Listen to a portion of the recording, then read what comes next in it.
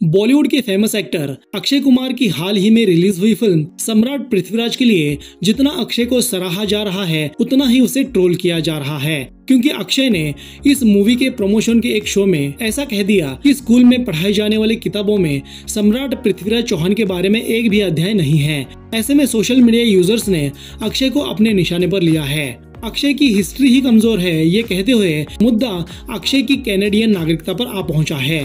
सातवीं की एनसीईआरटी की किताब में पृथ्वीराज चौहान के बारे में दो अध्याय पढ़ाए जाते हैं और इसलिए लोग अक्षय को ट्रोल करते हुए ये कह रहे हैं कि कैनेडियन कुमार को फ़िल्म प्रमोशन से टाइम मिले तो उसे ये ज़रूर पढ़ लेना चाहिए क्योंकि भारत का इतिहास कैनेडियन बुक्स में कैसे होगा? वेल well, अक्षय ने देशभक्ति पर कितनी सारी फ़िल्म किए हैं मगर फिर भी उसके ऊपर लगा कैनेडियन का टैग नहीं जा रहा है। इलेक्शन के टाइम तो ये मुद्दा अपनी हद पार कर लेता है, क्योंकि सभी एक्टर्स वोट कर रहे होते हैं, मगर अक्षय कुमार वोट नहीं करते, क्योंकि वो कैनेडियन नागरिक हैं। अब सवाल ये उठता है कि अक्षय कुमार जो इंडिया में रहते हैं, यही बिज़नेस करते हैं और यही टैक्स भरते हैं तो ऐसा क्या हुआ जिससे अक्षय कुमार को कैनेडा की सिटीजनशिप लेनी पड़ी? तो इसका जवाब है अक्षय की असफलता और निराशा।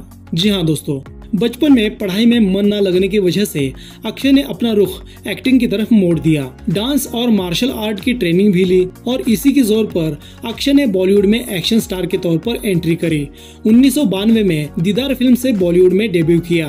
मगर नब्बे के दशक में एक के बाद एक कई सारी फ़िल्में फ्लॉप होने के कारण अक्षय निराश हो चुके थे। अब अपना करियर खत्म। इस सोच में अक्षय ने अपना प्लान भी फॉलो करने के बारे में सोचा और यही प्लान भी अक्षय को कनाडा के नागरिकता की ओर ले गया। अपने कनाडा के दोस्त के साथ बिज़नेस में पार्टनरशिप करने के लिए अक्षय कनाडा में जाकर स्थित हो गए और साथ ही कनाडा की सिटीजनशिप ले ली और खुद ही अपने एक्टिंग करियर को खत्म कर दिया। मगर इसी बीच एक ऐसा चमत्कार हुआ जिससे अक्षय के करियर ने फिर से उड़ान भर ली। डायरेक्टर प्रियदर्शन ने अक्षय कुमार को हेरा फेरी के लिए साइन कर लिया और ये फ़िल्म इतनी सुपरहिट साबित हुई कि अक्षय कुमार हर एक डायरेक्टर की पहली पसंद बन गए। अक्षय ने भी अपने एक्शन स्टार की इमेज से बाहर निकलकर वर्सटैलिटी को अपनाया, जिससे उसके करियर ने ऐसा पिकअप लिया जो आज तक बरकरार है। बॉलीवुड में सेट होने के बावजूद अक्षय ने आज तक अपनी नागरिकता को नहीं बदला है और यही बात आज अक्षय के ट्रोलिंग का मेन मुद्दा बन गया है। प्रधानमंत्री नरेंद्र मोदी के साथ नॉन पॉलिटिकल विज़िट के बाद भी ये मुद्दा बहुत चर्चा में था।